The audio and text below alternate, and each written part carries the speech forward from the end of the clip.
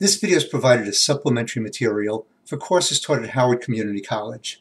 And in this video, I'm going to show how to solve exponential functions.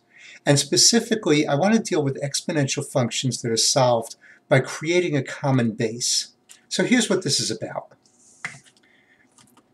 We've got this problem, 2 to the x plus 5 equals 4 to the x. Now the whole key in solving a problem like this is going to be in realizing that we could take a number like that 4 and turn it into 2 squared. So we would have the same base on both sides of the equation sign. So let's do that and see how that works. I'm still going to have 2 to the x plus 5, but instead of 4, I'm going to write 2 squared, and then I want to raise that to the x power. The next step would be, once again, to take 2 to the x plus 5, and then take that 2 squared to the x and multiply the 2 times the x. Since we have, when we have a power raised to a higher power, we multiply the exponents. So that's going to become 2 to the 2x. So now I've got 2 to the x plus 5 equals 2 to the 2x. Since the bases are the same, what I can see now is that the exponents must be equal to each other. So I can just say x plus 5 equals 2x, and then when I subtract x from both sides of the equation, I'm going to end up with x equals 5.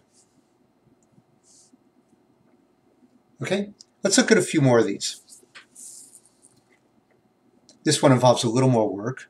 This is 25 to the x plus 3 equals 125 to the x minus 2. So the first step is going to be to find some kind of common base. Well, 25 is 5 squared, and 125 is 5 to the third power, so 5 would be the common base. I'll rewrite both of these. I'll have 5 squared to the x plus 3. That's going to equal 5 to the third to the x minus 2. And now I'll multiply the exponents times the exponents. I'll get 5 to the 2x plus 6 equals 5 to the 3x minus 6. Once the bases are the same, I can just set the exponents equal to each other.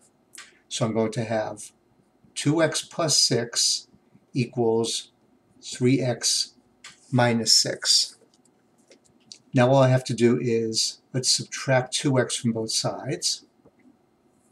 So I've got 6 equals x minus 6. I'll add 6 to both sides. And I'm going to get x equals 12.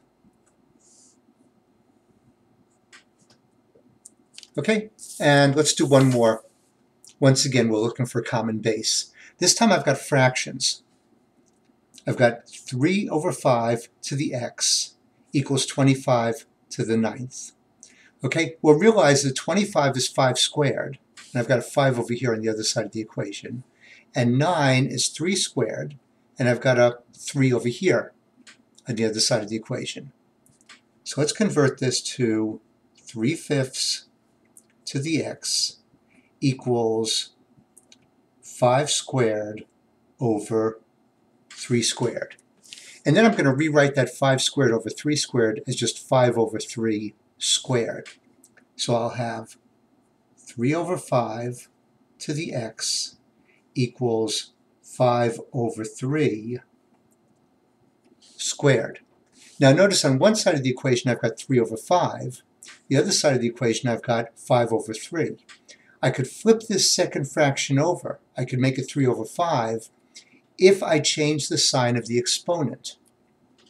So I can just write 3 over 5 raised to the x equals 3 over 5 raised to the negative 2. And now the bases are the same, so the exponents must be equal, equal to each other. So I've got x equals negative 2. Okay, so the whole trick for all of these is just to find a common base for both sides of your equation.